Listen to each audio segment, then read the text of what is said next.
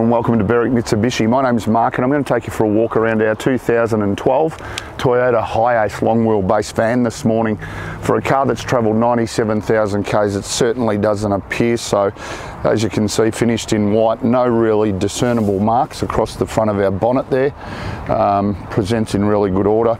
As we move around to the driver's side, uh, very similar in its appearance. We have fitted four brand new tyres all round on this car and as you can see moving down the side of the car, no evidence that it's really been a courier's van. A couple of minor little pimple dents there, um, but overall presents really well. A small touch up just on the bottom corner there as well.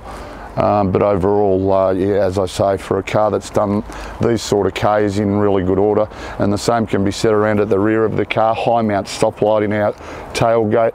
We've also got the uh, rear protection bar with the tow bar, uh, gives us the ability to tow 1.4 tonne if required. And then as we move around to the passenger side, a couple of minor little dents just there. Um, obviously consistent with its age, does have the sliding door on the passenger side of the car as well.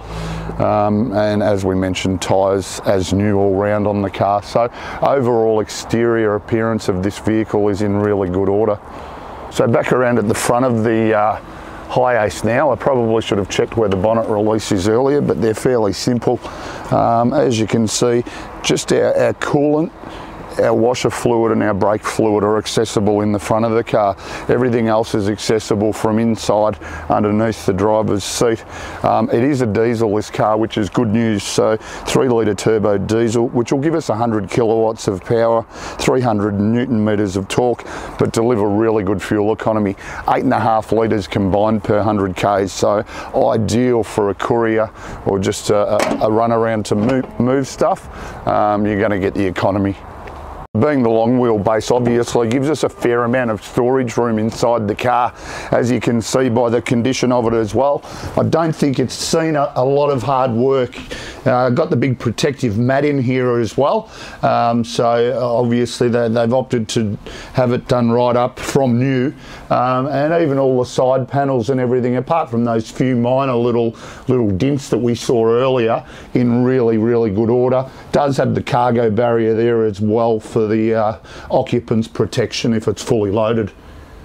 So inside the HiAce now, they're fairly straightforward set up these cars, but Toyota reliability.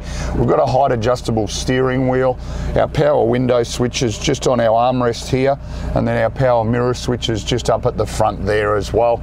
Uh, we've got a four speed T-bar auto, um, so just simple matter of whacking it into gear, tucked right up out of our way, our handbrake below that.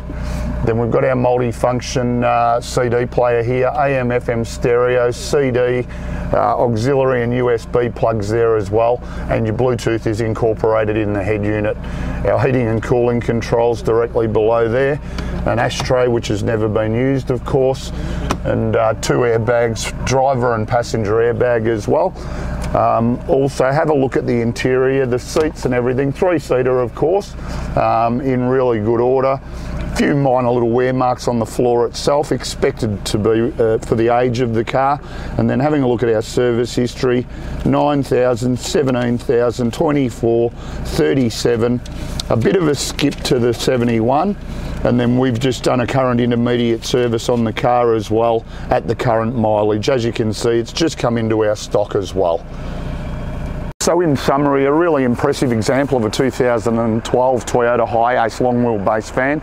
Only thing I didn't touch on in the video, uh, does have a reverse camera fitted in the mirror as well. So uh, if you're contemplating a car that's going to do everything you want it to do from a courier point of view, give us a call on 9907 0555.